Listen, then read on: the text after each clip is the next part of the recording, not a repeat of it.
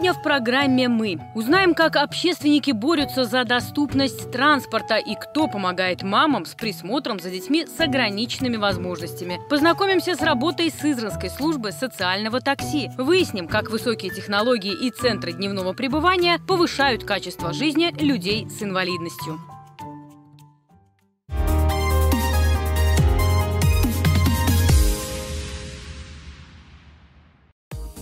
В Самаре при поддержке Фонда президентских грантов стартовал проект, посвященный доступности городского транспорта. Его работников знакомят с особенностями организации помощи маломобильным пассажирам и гражданам с инвалидностью. На транспортные предприятия и в общественные организации регулярно поступают жалобы от маломобильных людей о нарушении их прав во время поездок по городу. И связаны они по большей части с человеческим фактором. Потому и разработали в Самарском ресурсном центре формирования социальной среды для инвалидов проект по обучению тех, кто работает с такой такой категории пассажиров о том, как правильно организовывать помощь. У нас вчера было первое занятие, и, в общем-то, кондуктора, которые и водители э, трамваев, э, вожатые трамваев, они э, прямо говорят, ну, ну не то, что мы не знали, а они попробуют, они же пробуют, как э, работать с колясочником, как чувствует себя слепой, невидящий, когда э, ему нужно оказать помощь, э, как нужно вести себя, когда нужно преодолеть препятствие, поднять на Э, аппарель в автобусе или в трамвае. То есть они это практически пробуют и говорят, что, ну, в общем-то, ничего особенного, но этого мы бы и не... Ну, может быть, когда-то и дошли, но вы показали, рассказали, в общем-то, все здорово. Оказывать э, внимание маломобильным гражданам – это благое дело. Э, таких проектов на моей памяти не было. Мы привлекаем внимание как кондукторов, так и водителей к проблеме этих людей. Я считаю, что это, это надо делать. Мы будем сотрудничать в дальнейшем с этой организацией. Мы экспериментальное депо, мы первое депо, которое Э, проводят такие семинары. В дальнейшем все, все шесть депо трамвайные, троллейбусные в этом будут принимать участие активное. В рамках проекта проходят обучающие семинары. Кондуктор Владислав Турутин в числе первых участников. Он студент-историк педагогического университета и уже два года как кондуктор трамвая. Совмещает приятное с полезным. На маршрутах изучает архитектуру улиц Старой Самары и довольно часто общается с пассажирами, имеющими особенности здоровья. Если о конкретных примерах говорить, например, заходят люди после инсульта. У них затруднена речь. Вот, допустим, по той же тройке в центре города там э, живут такие люди, если часто там бываешь. Ну, они часто ездят, садятся на одних и тех же остановках и начинают иногда разговаривать. Трудно понять речь. Ну, стараемся. Стараемся находить общий язык. Э, с трудом, но получается. Не без этого. Но это обязательно часть работы, и Э, нет никаких подразделений. Если человек едет с нами, значит мы обязаны обслужить его, довести до места назначения, постараться, чтобы ему было комфортно.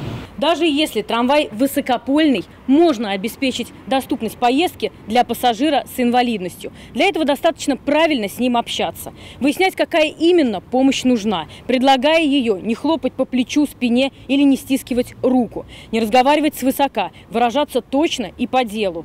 Этим и другим правилам этики общения также учат на занятиях по проекту. Прямо во время занятий разбирается не только теория, но и конкретные ситуации из жизни, с которыми сталкиваются сотрудники транспорта, а также жалобы пассажиров. Водитель ругался, обзывался, э, вовремя, не мог высадить, время почти ночь, в итоге добиралась домой пешком. Проект охватит более 300 кондукторов и водителей. Будут организованы не только семинары, но и экспертиза остановочных пунктов и павильонов. Порядка 60 павильонов мы должны будем проэкспертировать, оценить э, и затем выйти с предложением на главу города, что необходимо сделать, чтобы привести их в соответствие с требованиями существующих нормативных документов. Это строительные правила 59 13 2020 года. Среди водителей и кондукторов также проведут конкурс на лучшего по оказанию ситуационной помощи маломобильным группам населения. Завершит проект длительностью 10 месяцев форум задачи транспортных предприятий в создании комфортных городских маршрутов, проблемы и перспективы.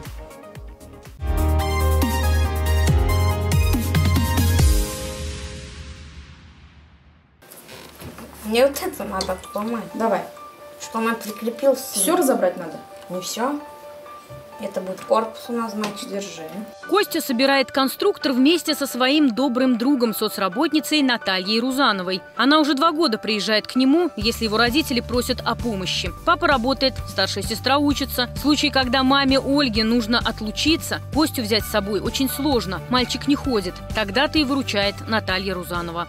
Его покормить, покормить нужно, что воды подать он не может сам у меня, потому что нужно поднести, руки поднять иногда ему, телефон подать, э, в туалет сводить. Э, иногда вот муж вот допоздна работает, с дочерью, не, ну, что тяжеловато, приходится соцработника просить, мы иногда и купаем его, то в парикмахера надо пригласить домой, искупать нужно, помощь нужна соцработнику. Что еще делают? Ну, по дому иногда там, если просим приготовить что-нибудь для Кости, когда я уезжаю. Иногда вот не успеваю. Наталья приходит сюда три раза в неделю в рамках социальной услуги кратковременный присмотр за детьми с ограниченными возможностями здоровья. Она не только помогает мальчику физически. Они читают, поют, занимаются, общаются. Наталья практически стала членом этой семьи. Даже праздники вместе справляют. Мы вместе поздравляем его с днем рождения. Ребенок э, сами видите, не очень мобилен, и круг общения у него довольно-таки узок.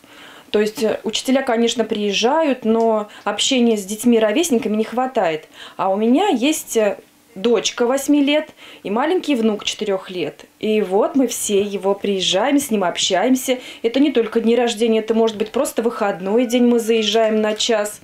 Ну, как-то пытаемся разнообразить его такую жизнь. Но вообще он мальчик солнца, он очень веселый, позитивный, он очень хорошо поет. Мы его очень любим. Кратковременный присмотр – бесплатная социальная услуга. Воспользоваться ею могут мамы и папы, которые растят ребенка с ограниченными возможностями здоровья в возрасте от 3 до 14 лет. Чтобы оформить такую государственную помощь, следует обратиться в комплексный центр социального обслуживания населения. Обращается территориальный отдел «Комплексный центр» и узнают вот по этой программе. Определяется индивидуальная программа предоставления социальных услуг. И на основании этого организация заключает договор автономная некоммерческая организация. И ребенку оказывается эта данная услуга. В 2022 году 33 семьи, в которых воспитываются 36 детей с ограниченными возможностями здоровья, получили 850 услуг по кратковременному присмотру. Такая поддержка действительно необходима родителям. Особенно ребенок, с которым трудно выйти из дома, не освобождает от походов больницы, пенсионный фонд, другие организации. Нужно ведь даже элементарно ходить за продуктами, а присмотреть в это время за ребенком бывает некому. Помощь семьям с детьми – одно из приоритетных направлений государственной политики. В Самарской области ему уделяется особое внимание. Это не только выплаты, но и подобные присмотру нематериальные меры поддержки. Работа в этом направлении находится на личном контроле губернатора Дмитрия Азарова.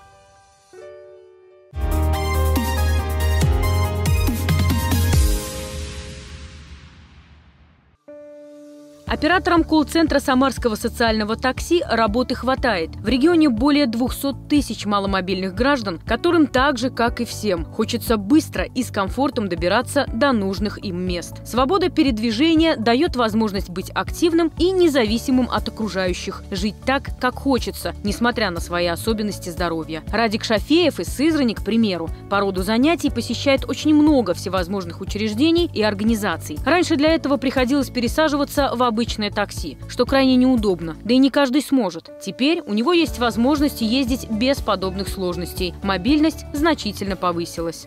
Очень хорошо, что в нашем городе а, в последнее время появилось социальное такси благодаря а, субсидированию со стороны администрации городской. А, данная услуга позволяет маломобильным гражданам нашего города быть более мобильными, стирать, так скажем, физические границы и добираться до а, разных мест нашего города. А, например, вот я лично и ребята из нашей общественной организации «Сила воли» очень активно пользуемся данной услугой. И благодаря этой возможности у нас появились более широкие возможности для проведения мероприятий в разных абсолютно частях нашего города.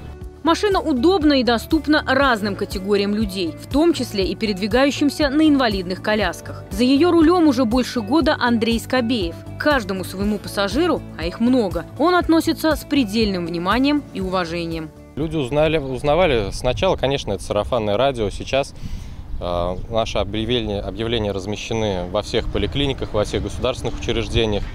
То есть мы общедоступны, мы работаем 24 часа в сутки, 7 дней в неделю. Услуга очень востребованная, люди очень радуются. Машина новая, комфортная, каждому человеку индивидуальный подход и стараемся обеспечить максимально комфортные условия передвижения. Социальное такси появилось здесь в 2021 году по муниципальной программе «Доступная среда» в городском округе Сызрань.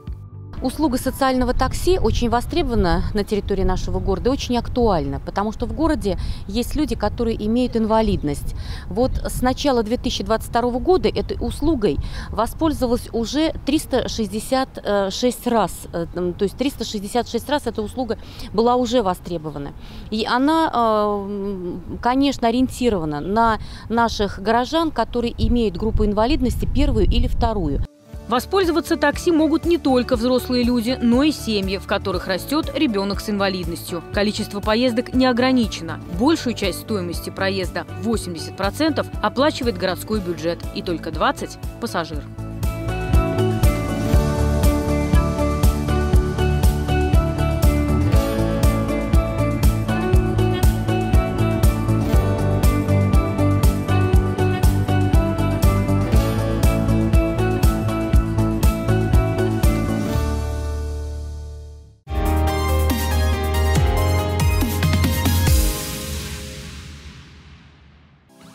Откройте, ли?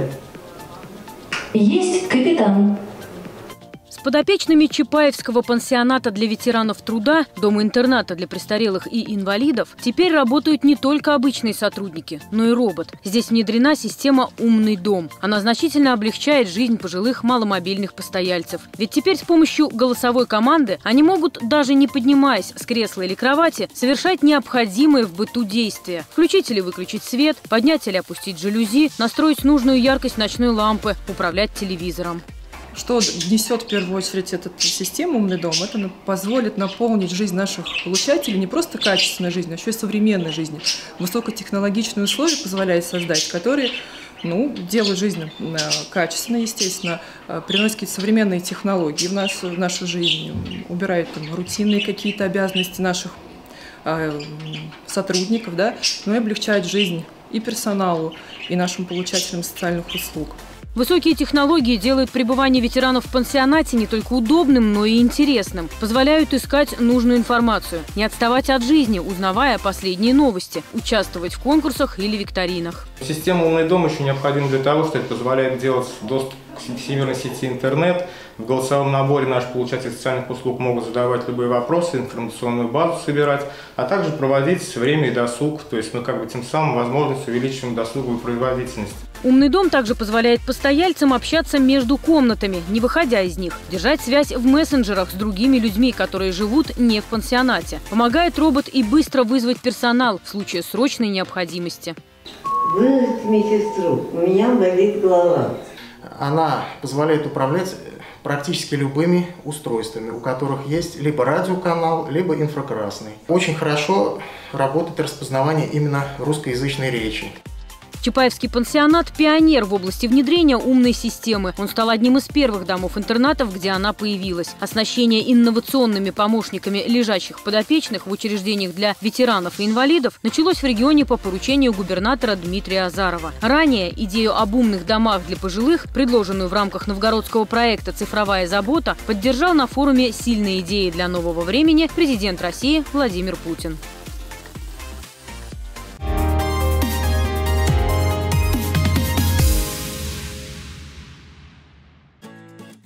Сына Лидии Семеновой из Красноармейска инвалидность с детства. Александр для мамы, несмотря на возраст, всегда будет ребенком. С ним постоянно нужно быть рядом. Саша общительный, улыбчивый, осваивает игру на гитаре, стал талисманом районной футбольной команды «Заря». Колесит по всей области вместе с ними. Раньше всему, что необходимо ему по жизни, она учила его сама дома. Теперь всевозможные навыки и умения он приобретает в недавно открывшемся в селе Центре дневного пребывания для инвалидов и пожилых людей. Здесь он даже может оставаться один. У мамы освобождается время на свои дела. За сына она спокойно, проводит время с пользой и всегда под присмотром. здесь мы общаемся, чему-то учимся. А мне в основном вот нужно все для него. Потому что вот такие дети, они берут от нормальных этих детей и взрослых вот эти все навыки. Поэтому мы сюда ходим с удовольствием. Вот, допустим, вот даже вот это вот сложить уже есть подска- по, по этим, по рисункам. Он уже определяет и сам собирает. Или что-то другое. Вот ему дают задание, он тоже самостоятельно. Ну, немножко он, э, как иногда смутится, скажет, мам, как там? Ну, я ему подскажу, и он начинает уже делать. И вот все навыки у нас буквально, можно сказать, вот отсюда. Мы ходим сюда с удовольствием. Этот центр открылся в начале августа. Здесь проходят реабилитацию после тяжелых заболеваний, общаются и получают навыки самообслуживания в быту инвалиды и люди пожилого возраста. Учреждение доступно для жителей всего Красноармейского района района. Сейчас здесь более 30 подопечных. Маломобильных людей, а также инвалидов-колясочников привозят и отвозят на специально оборудованном автомобиле. Прям к дому подъезжают и обратно да, отвозят. Да. Спасибо, и все, у нас хорошо. Любовь Фадеева узнала о центре от подруги, тоже Любови, Клоковой. Ее, в свою очередь, пригласили сюда местные работники. Она родилась и выросла в Красноармейском, потому многие с ней знакомы. В центре дневного пребывания Любовь Клокова проводит время с удовольствием. К примеру, развивает мелкую моторику. Меня пригласили сюда, вот работники. Я согласилась, я только сказала, говорю, я не могу, говорю, ходить это, дойти до этого центра. Вот поэтому они говорят, мы вам машину все при это предоставим. Я говорю, ну я согласна, конечно. И 10 вот числа, прям первый день, меня пригласили на открытие. В центре к каждому подопечному индивидуальный подход в соответствии с особенностями и потребностями. Работники помогают людям сохранять и поддерживать активность, повышая качество их жизни. В основном, конечно, все наши услуги направлены на восстановление когнитивных функций, таких как память, речь, внимание. С этим работают наши психологи, которые проводят не только групповые, но и индивидуальные занятия при необходимости. Мы оказываем здесь социальные услуги в комнате социально-бытовой адаптации. Это уже 13-й центр дневного пребывания для инвалидов и пожилых людей, открытый в Самарской области. Такие же есть в Тольятти, Новокуйбышевске, Чапаевске, Отрадном и Пестравке. Их появление происходит в рамках системы долговременного ухода, одной из ключевых составляющих нацпроекта «Демография», инициированного президентом России Владимиром Путиным. Внедрение системы в 63-м регионе находится на контроле у губернатора Дмитрия Азарова.